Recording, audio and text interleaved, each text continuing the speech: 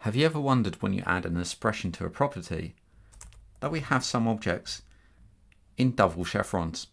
Why is this? As you can see here, we have a spreadsheet and also the spreadsheet in double chevrons. Now we can use either or of these. Why is there two there in the first place? The answer is the difference between a label and the name.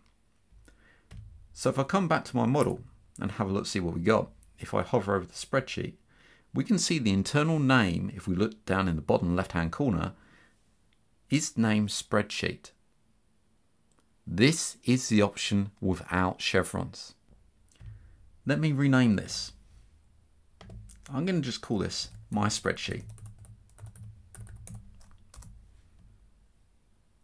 Notice that the label of the spreadsheet is now my spreadsheet.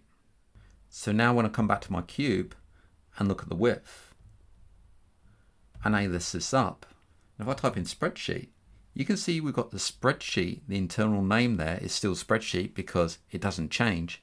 And I've got my spreadsheet as the label. So it's a case of referencing the formula by the name of the object or the label of the object. For instance, let's take the label. I'm going to put width large in here and hit OK. And refresh and that's taken. So I've got that in there. If I rename the spreadsheet to something else, then the label changes. Let's come back to the scene. So let's have a look at the cube. We can see we've still got the label in there.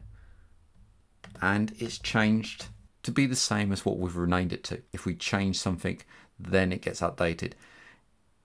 This is exactly the same as using just spreadsheet in here, but we'll need to take off the chevrons because this is a name.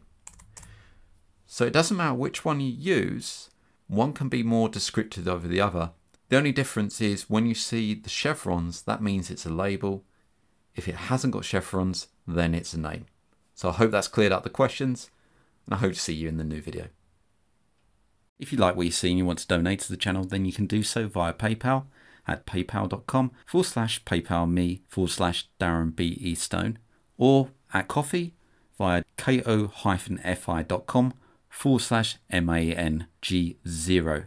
I also run a Patreon where you can get early access and additional content, and that's at patreon.com forward slash mango jelly solutions. Links can be found in the channel header, on the About page, or in the descriptions of these videos.